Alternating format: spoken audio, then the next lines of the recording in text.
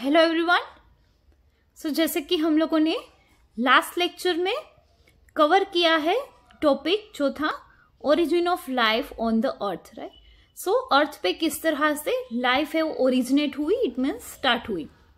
So in which our second last theory जो कि थी ओपेरिन हेल्डन थियोरी जिसको मॉडर्न थियोरी भी बोला जा रहा था राइट right? तो उसको मॉडर्न थियोरी हमने क्यों कहा था? Because in that theory Oparin and Helden gave the idea about the chemical evolution, right? कि जब सेल्स हैं लाइफ है, जो कि अर्थ पे स्टार्ट हुई बिफोर दैट एक केमिकल इवोल्यूशन है, वो हुआ होना चाहिए।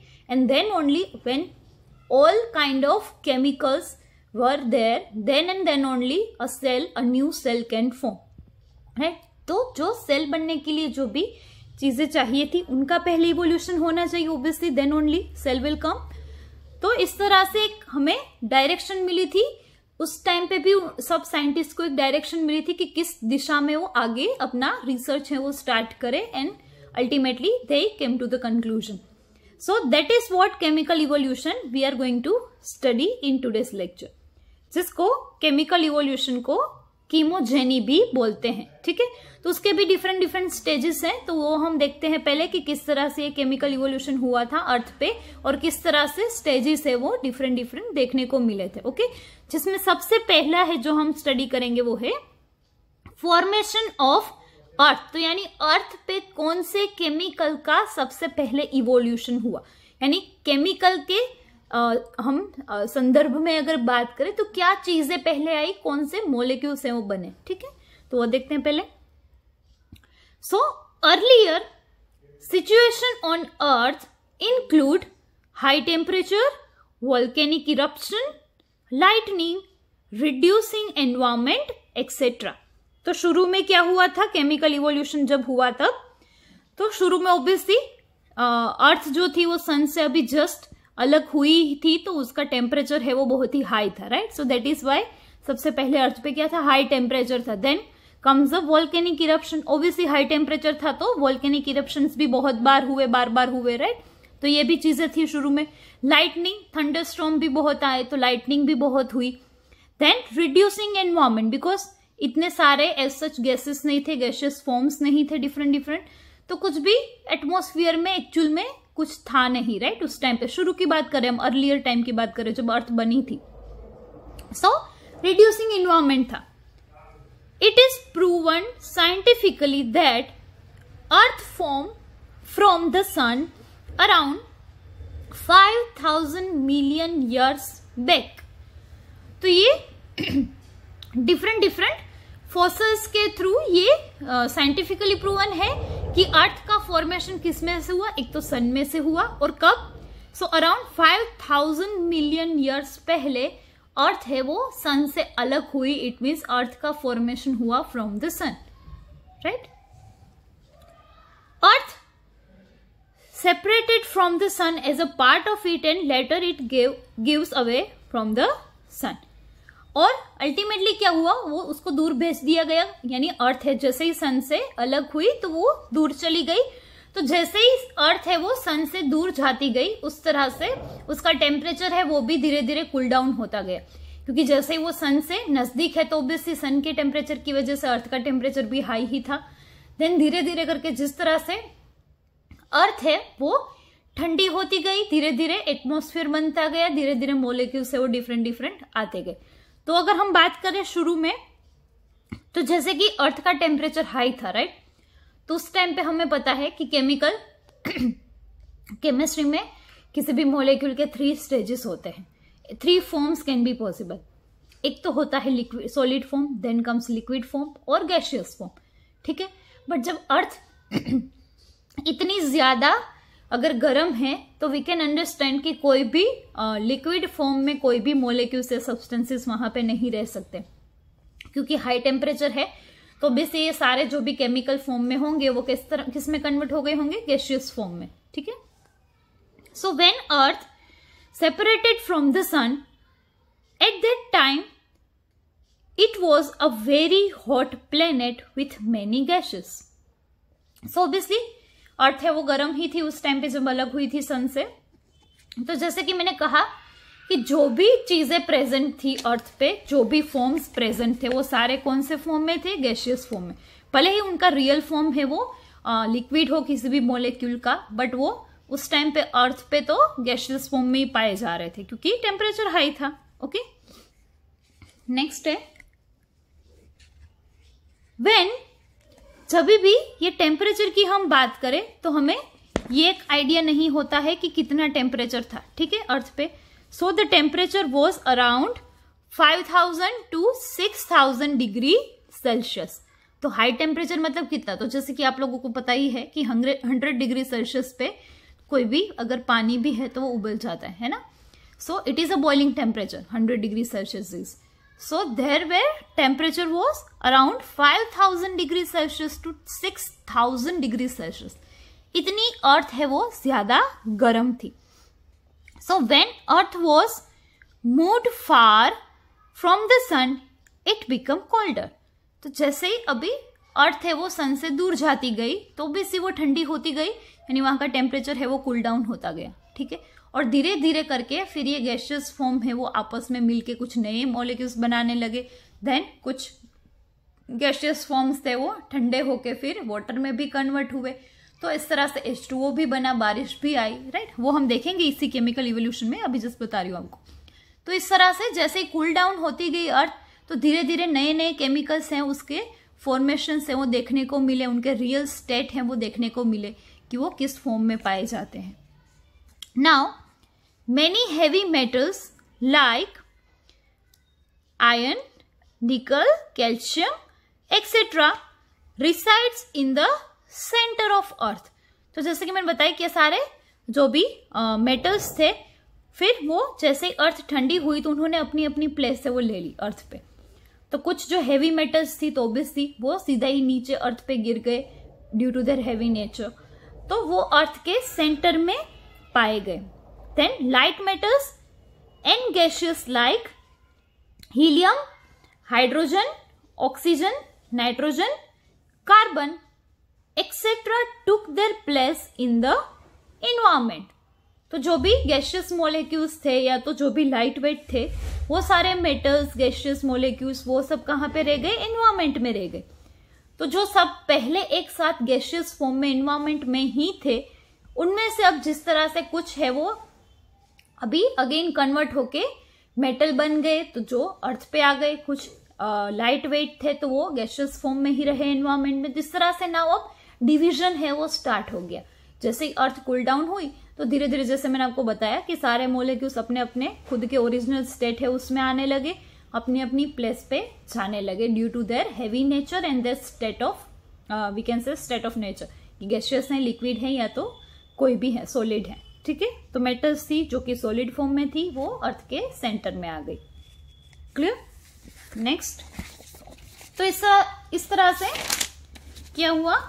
Initially earth have many atoms which are essential to form the life जैसे कि एग्ज़ाम्पल है carbon hydrogen oxygen and nitrogen तो इस तरह से शुरू में अर्थ पे वो सारे एटम्स प्रेजेंट थे, भले ही वो कोई भी फॉर्म में हो बट प्रेजेंट थे, जो कि लाइफ शुरू करने के लिए इंपॉर्टेंट है। So as you all know जैसे कि अगर हम कोई भी बायोमोलिक्यूल्स की बात करें तो उसके कोर में, उसके सेंटर में यही मोलिक्यूल्स पाए जाते हैं, है ना? बैकबोन जिसको हम बोलते हैं carbon hydrogen oxygen nitrogen obviously there are many more molecules जो कि सोडियम है सल्फ़र है पोटेशियम है, ये भी यूज़ होते ही हैं कैल्शियम है but this are the main core right? कि अगर ये नहीं है तो बाकी का वैसे भी काम नहीं है। तो इस तरह से ये जो मेन मेन एटम्स थे, वो सारे उस टाइम पे अर्थ पे धीरे धीरे करके अपने अपने फॉर्म में आने लगे, वहाँ पे प्रेजेंट थे। तो इसीलिए लाइफ स्टार्ट हो सकती थी अब। Living beings are formed from this only तो जैसे कि मैंने बताया कि लिविंग बींग्स जो भी बने, जो भी वहाँ पे लाइफ स्टार्ट हुई, वो इसी की वजह से हुई, क्योंकि ये सारे एटम्स वहाँ पे प्रेजेंट थे। तो इस तरह से डिफरेंट बायोमोलिक्यूल्स बने एंड अल्टीमेटली सेल बना. Chemical changes which was occur to form a life on earth are called chemical evolution तो जो भी केमिकल चेंजेस हुए लाइफ को फॉर्म करने के लिए अर्थ पे, उसी को हम क्या बोलते हैं? केमिकल इवोल्यूशन राइट तो changes in the chemical nature of the molecules. So that is called chemical evolution.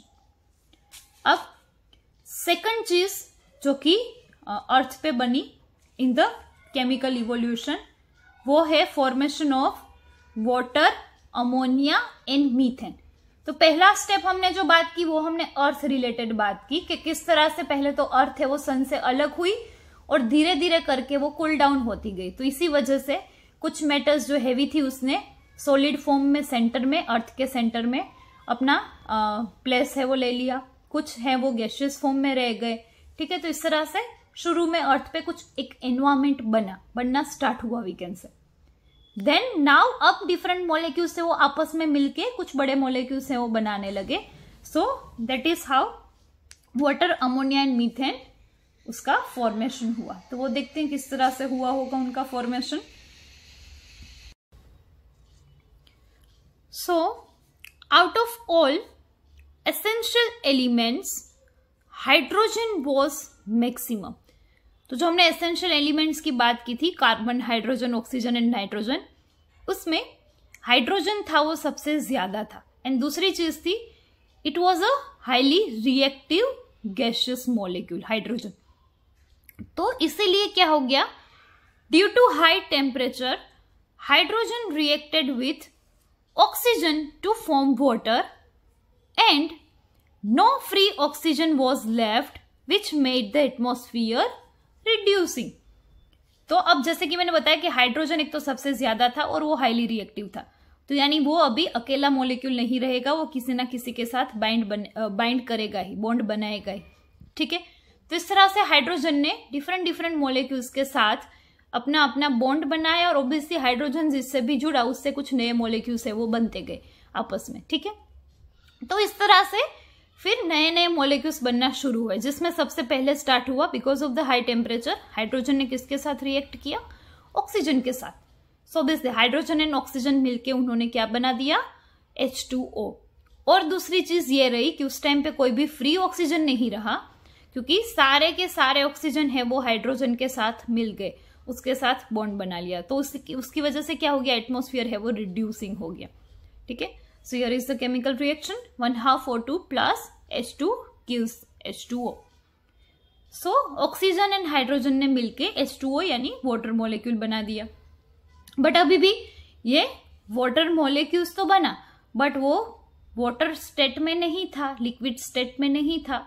वो था तो गैशियस स्टेट में ही, क्योंकि अभी भी अर्थ का टेम्परेचर इतना कूल डाउन नहीं हुआ था कि कोई भी मोलिक्यूल से वो लिक्विड फॉर्म में रह पाए। ठीक है? तो गैशियस फॉर्म में ही रहे। यानी स्टीम के फॉर्म में ही रहा पानी है वो। बट ये आपस में जुड़ के कुछ नई चीज़ें बनाने लगे भले ही गैशियस स्टेट में एक दूसरे के साथ जुड़ रहे यानी ऑक्सीजन है हाइड्रोजन है वो।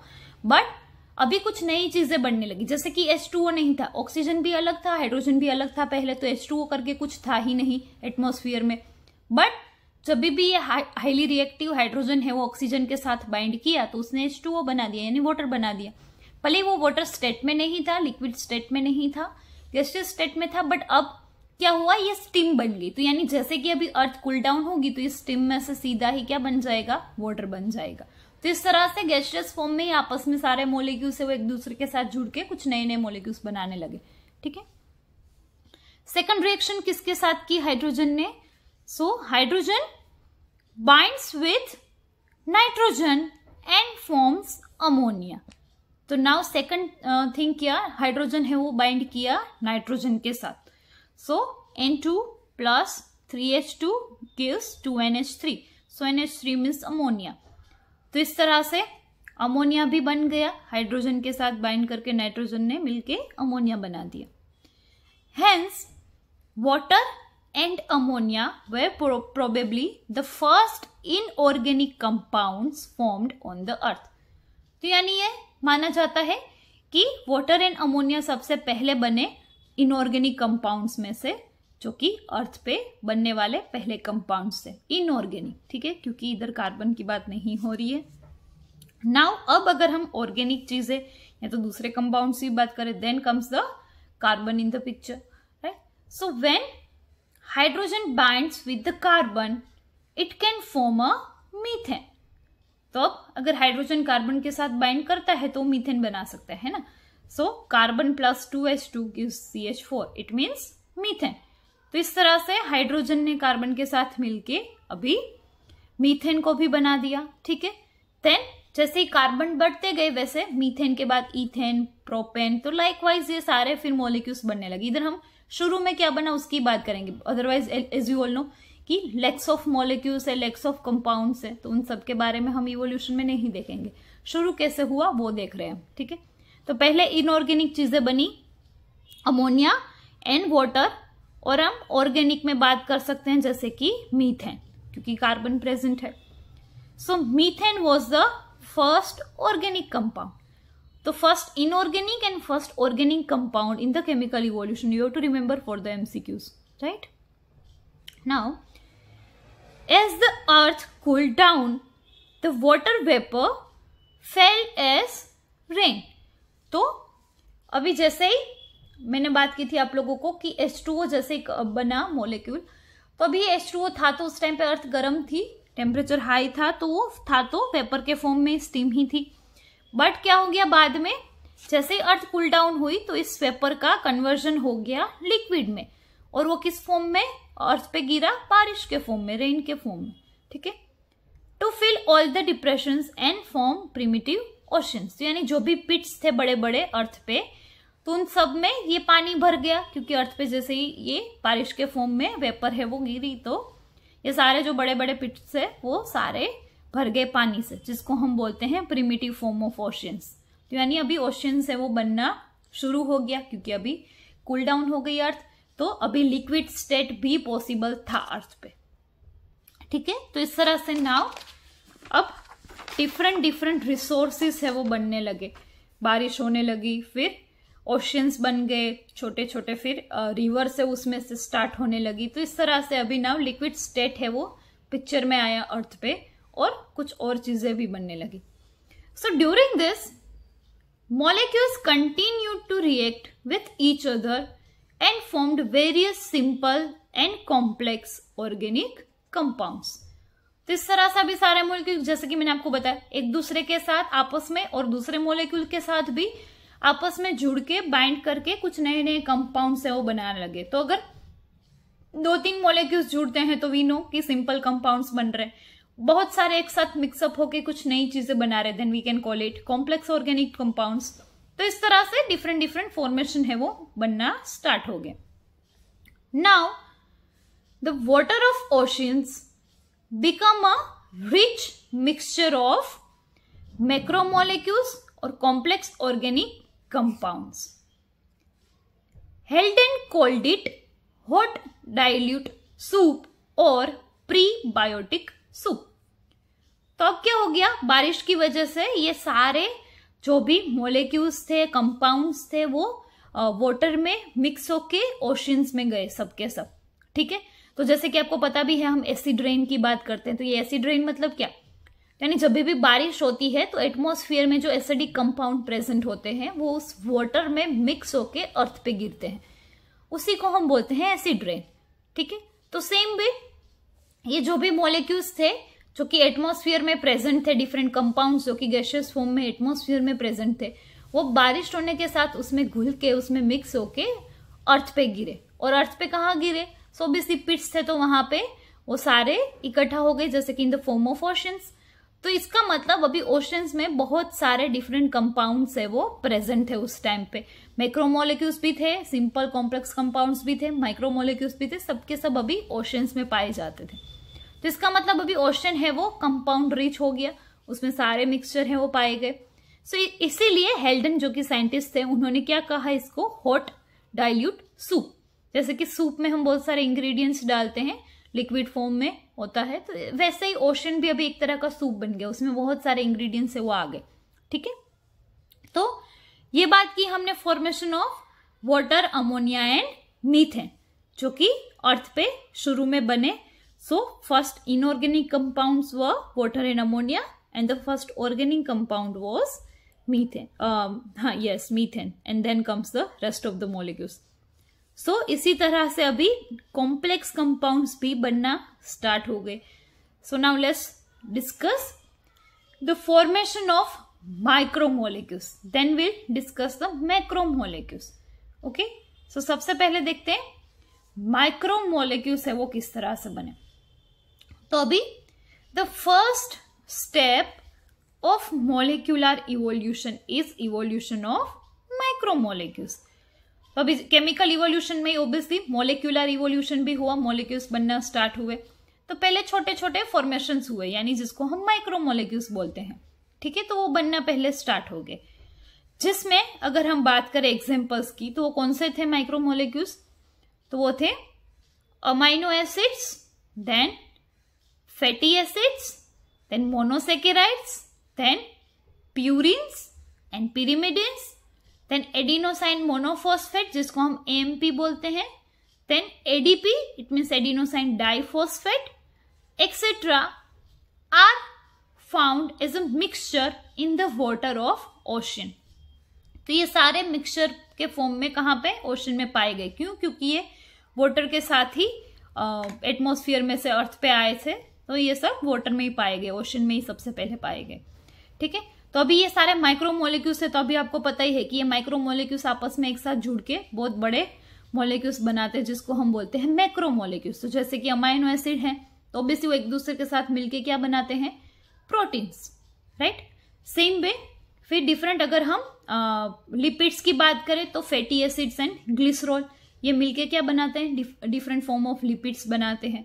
फिर मोनोसेकेराइड्स है तो ये मोनोसेकेराइड्स भी आपस में मिलके क्या बनाते हैं? पॉलीसेकेराइड अगर दो मिलेंगे तो डाइसेकेराइड और more than two then it will form a polysaccharides फिर है प्यूरिन्स एंड पिरीमिडिन्स तो ये क्या है? न्यूक्लियोटाइड्स नाइट्रोजन बेस है ना? तो ये प्यूरिन्स एंड पिरीमिडिन्स अभी ये नाइट्रोजन बेसिस भी बन गए तो अभी फिर न्यूक्लिक एसिड का इवोल्यूशन भी स्टार्ट हो सकता है, क्योंकि उसकी बेसिक रिक्वायरमेंट्स है वो अभी बन गई है। सेम वे एडिनोसाइन मोनोफोस्फेट फिर दो अगर फोस्फेट मिल गए तो डाईफोस्फेट तो इस तरह से different different form of micromolecules हैं वो बन गए थे ठीक है तो अब ये आपस में जुड़ के क्या बनाएँगे macromolecules so then comes the formation of macromolecules तो ये मोलिक्यूलर इवोल्यूशन का फ़र्स्ट स्टेप था माइक्रोमोलिक्यूल बनना तो अब ये सेकंड स्टेप क्या होगा macromolecules so we can say next step of molecular evolution was evolution of macromolecules ठीक है so many macromolecules were uh, bond with each other and formed macromolecules तो ये माइक्रोमोलिक्यूल्स से वो आपस में बॉन्ड बना के आपस में बाइंड करके उन्होंने क्या बना दिया मैक्रोमोलिक्यूल्स को बना दिया जिस जैसे कि एग्जांपल है वो मैंने अभी आपको बता दिया they are lipid proteins, polysaccharides, nucleic acid, it means DNA and RNA, etc. तो अभी माइक्रोमोलिक्यूल्स के साथ मैक्रोमोलिक्यूल्स भी बन गए साथ साथ में ठीक है इस तरह से मोलिकुलर इवोल्यूशन भी हुआ केमिकल इवोल्यूशन में तो अब हमने बात की मैक्रोमोलिक्यूल्स में स्पेसिफिकली न्यूक्लिक एसिड की so as you all know this is the only genetic material nucleic acid जो कि नेक्स्ट जनरेशन में कैरेक्टरिस्टिक्स को पास करने के लिए इंपॉर्टेंट चीज़ें हैं। यानी सेल बनने के लिए इंपॉर्टेंट चीज़ें हैं वीकेंड से क्योंकि ये आगे की जनरेशन में जाने वाली कोई चीज़ें आएगी तो ही नई जनरेशन से वो बनेंगी। अदरवाइज़ एक सेल तो चलो बन गया, पर अभी उससे डिवाइड होकर दूसरा भी तो बनना चाहिए। अदरवाइज़ वो एक सेल है, वो जब खत्म हो जाता तो वापस लाइफ है, वो खत्म हो जाती। तो उसको कंटिन्यू रखने के लिए चाहिए था न्यूक्लिक एसिड जो कि अभी केमिकल इवोल्यूशन में बन गया। ठीक है?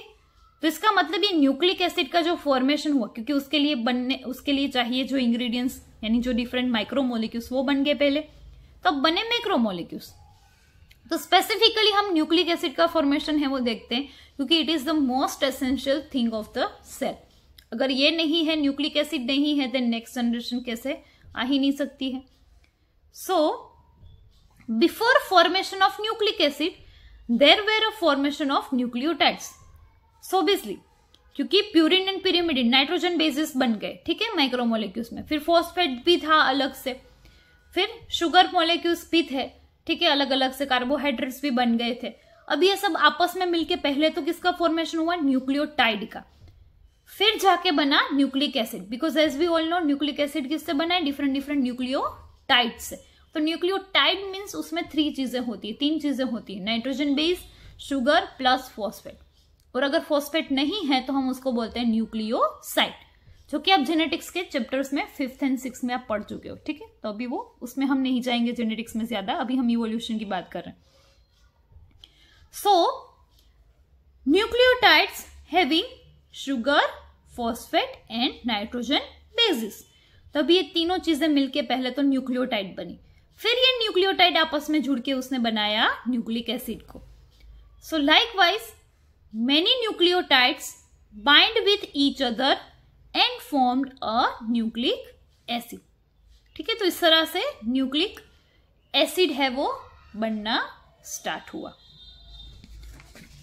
नेक्स्ट लास्ट चीज़ है जो कि है फॉर्मेशन ऑफ़ न्यूक्लियो प्रोटीन्स तो अब न्यूक्लिक एसिड बन गए। तो इस न्यूक्लिक एसिड ने किसके साथ रिएक्ट किया? प्रोटीन्स के साथ रिएक्ट किया। और जिसकी वजह से बन गया न्यूक्लियो प्रोटीन्स तो अभी इसकी ज़रूरत क्या थी? तो जैसे कि मैंने अभी पहले आपको बताया कि माइक्रोमोलिक्यूल्स जो बने, फिर वो आपस में जुड़ के उन्होंने बना दिया मैक्रोमोलिक्यूल्स को। तो अभी ये मैक्रोमोलिक्यूल्स भी जो भी स्टेबल थे, वो वैसे के वैसे ही रहे। जो स्टेबल नहीं थे, वो भी और आगे बाइंड करने के लिए किसी के साथ रिएक्ट करने लगे। जैसे कि इस न्यूक्लिक एसिड ने रिएक्ट किया किसके साथ? प्रोटीन के साथ। तो इसकी वजह से कि अब एक और कंपाउंड है, वो बन गया, जिसे हम बोलते हैं न्यूक्लियो प्रोटीन्स क्लियर कुछ चीज़ें थी वो, वैसे के वैसे फॉर्म में ही रहेगी किसी के साथ रिएक्ट नहीं किया। कुछ जो कंपाउंड्स मोलिक्यूल्स बने, उसने और भी आगे रिएक्ट करना शुरू रखा, चालू रखा। ठीक है? तो इस तरह से न्यूक्लियो प्रोटीन्स बने। So nucleic acid and proteins with each other and forms a nucleoproteins so they are very important molecule to form a life और a cell so this is the last thing जो कि required थी cell के लिए. As nucleic acid तो बन गए. अब न्यूक्लियो प्रोटीन बनना ज़रूरी था because it it covers the major part of the cytoplasm ठीक है? तो इस तरह से क्या हो गया? कि न्यूक्लियो प्रोटीन जब बने, फिर आया पिक्चर में सेल का फॉर्मेशन जो कि अभी ये चीज़ें हम नेक्स्ट लेक्चर में स्टडी करेंगे बायोलॉजिकल इवोल्यूशन में सेल से, कि किस तरह से सेल बना। अभी हमने आज के लेक्चर में बात की केमिकल इवोल्यूशन की, यानी केमिकली जो मोलिक्यूल्स बने, वो किस तरह से शुरू हुए और before the formation of cell end तक कौन कौन से मोलिक्यूल्स बने। ठीक है तो जिसकी आज हमने सिक्स स्टेप में बात की। In the last was nucleoproteins जो कि साइटोप्लाज्म का मेजर पार्ट है, वो कवर करते हैं।